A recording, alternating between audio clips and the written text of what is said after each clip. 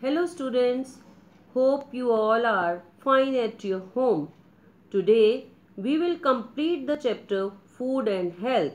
The next, next topic is diseases. Children, a disease is an abnormal condition in which the body is not able to work properly. Diseases can occur due to many reasons. Some diseases like diabetes, arthritis, etc. are caused when a particular part of body stops functioning properly. Lack of particular vitamins or minerals in the body also causes diseases.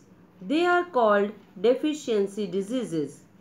Diseases can be classified into two types non-communicable diseases and communicable diseases.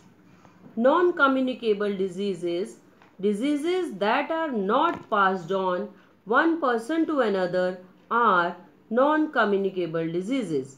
Some examples are night blindness caused by the deficiency of vitamin A, beriberi due to lack of vitamin B1, rickets due to lack of vitamin D, anemia due to lack of iron. Now, we will talk about communicable diseases. Children, corona is the live example of communicable disease due to which we are at our homes in the lockdown. Yes, you must have understood that the diseases which can be passed on from one person to another are called communicable diseases.